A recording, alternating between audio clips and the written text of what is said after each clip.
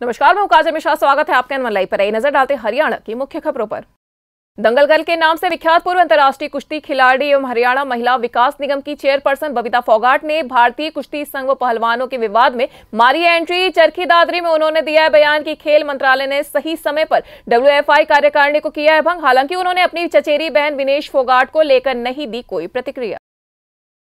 Wrestling federation of India और wrestlers के विवाद के बीच कांग्रेस नेता राहुल गांधी बुधवार सुबह पहुँचे हरियाणा। यहाँ वे झज्जर में बजरंग पूनिया के गाँव छारा के अखाड़े में आए नज़र, जहाँ उन्होंने प्रैक्टिस कर रहे पहलवानों से की मुलाकात। इस दौरान राहुल गांधी ने बजरंग पूनिया से कुछ देर अखाड़े में जाने कुश्ती के दांव पेच। इंटरनेशनल पहलवान विनेश फोगाट के भारतीय कुश्ती संघ के विवाद के बीच खेल रत्न और अर्जुन अवार्ड लौटाने के ऐलान के बाद उनके समर्थन में आ गए हैं नेता। इंडियन यूथ कांग्रेस के अध्यक्ष समेत महिला कांग्रेस अध्यक्ष व अन्य नेताओं ने सोशल मीडिया पर डाली है पोस्ट। उन्होंने विनेश के समर्थन के साथ सरकार पर भी साधा है निशाना। हरियाणा में आज सरकारी अस्पताल के डॉक्टर रहे हड़ताल पर इस दौरान सभी जगह बंद रही ओपीडी सेवाएँ, आपातकालीन सेवाएँ नियमित दिनों की तरह चलाने की की गई है बात। यहाँ हर रोज करीब पाँच हज़ार मरीज़ ओपीडी में करवाते हैं इलाज। हड़ताल के कारण ओपीडी में आने वाले मरीजों को करना पड़ा दिक्कतों का सामना।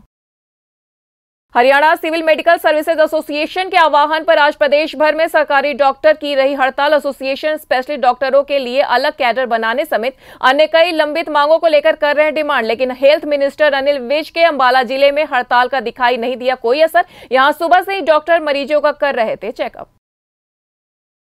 पंजाब और हरियाणा के छह युवकों को रूस की जेल से निकालकर वापस लाया गया है भारत। यहाँ सभी डंकी के ज़रिए जाना चाहते थे यूरोप। वहाँ से लौटे युवकों ने दिया बयान कि उनके साथ रूस की जेलों में किया जाता था मानवीय अत्याचार। उनको यूरोप भेजने के नाम पर ट्रैवल एजेंट ने दिया धोखा।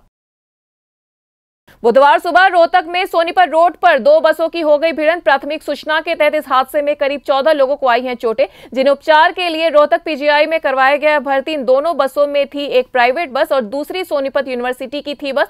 लगाया जा रहा अनुमान की धुंध के कारण हुआ। यह हादसा धुंध अधिक होने के कारण दृश्यता में थी कमी। कैथल में घने कोहरे के दौरान बुधवार सुबह पंजाब रोडवेज़ बस की ट्रॉली के साथ हो गई टक्कर। हादसे में दो युवकों की हो गई मौत, जबकि चार अन्य हैं घायल। बस में सवार अन्य यात्रियों को भी आई है चोटें। पुलिस ने मौके पर पहुंचकर की छानबीन। दोनों मृतकों के शवों को पोस्टमार्टम के लिए भेज दिया गया अस्पताल। रेलवे ने नई दिल्ली, कटरा, पुरानी दिल्ली, अमृतसर के बीच चलने वाली दोनों वंदे भारत एक्सप्रेस की जारी कर दी संभावित समय सारणी। इसमें एक वंदे भारत के प्राथमिक स्टेशन में भी किया गया बदलाव। पहले जो नई दिल्ली से अमृतसर के लिए बीच चलनी थी, वंदे भारत एक्सप्रेस, अब वो चलेगी पुरानी दिल्ली से अमृतसर के बीच। जताई जा रही है संभावना के शेड्यूल जारी होने के बाद अगले दो सप्ताह के भीतर दोनों ट्रेनों का शुरू किया जा सकता है संचालन। बुधवार को भी लगातार तीसरे दिन घने कोहरे की चपेट में हरियाणा साढ़े दस बजे तक भी पूरी तरह से छट नहीं पाया कोहरा। सुबह पाँच बजे तो राजस्थान और पंजाब से सटे कई इलाकों में था इतना कोहरा कि पाँच मीटर दूर से भी नहीं थी विजिबिलिटी वही आईएमडी चंडीगढ़ ने दी जानकारी कि साढ़े आठ बजे हिसार, करनाल, सिरसा व भिवानी में मात्र पचास मीटर रही विजिबिलिटी तो ये थी हरियाणा की अब तक की मुख्य खबरें। ऐसी तमाम खबरों से जुड़े रहने के लिए देखते रहिए एनवल लाइव